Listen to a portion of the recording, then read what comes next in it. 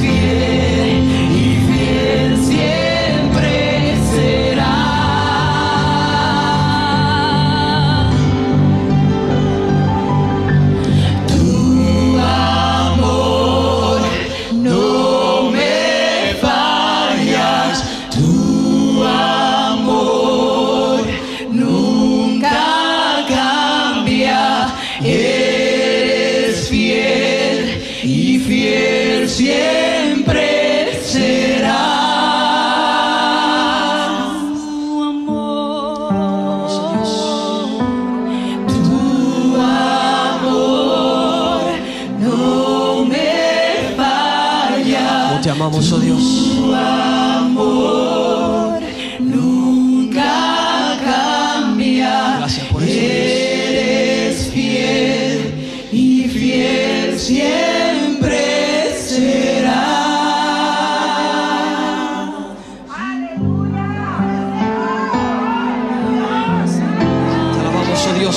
aplauso fuerte al Padre y al Espíritu Santo. Te damos gracias, Señor, por tu amor y tu misericordia, Señor, en nuestras vidas. Por esta oportunidad, oh Dios. Padre, venimos ante ti, oh Dios, en este momento con nuestro corazón humillado a ti, preparándonos para tu palabra, oh Dios. Te pedimos, oh Dios, que tú nos llenes de tu espíritu, de tu palabra, que no salgamos igual de este lugar, sino que cambiemos, oh Dios. Sino que no apliquemos todo lo que tú nos enseñas, Dios. Que tu palabra tan preciosa quede con nosotros, oh Dios, y podamos resplandecer esa luz que tú nos llamados a resplandecer. Usa el ministro como úsalo, Dios. Úsalo, Dios, como tú quieres usarlo, Dios. Que sea un vaso útil ante ti, oh Dios, para dar tu pan de vida a esta congregación.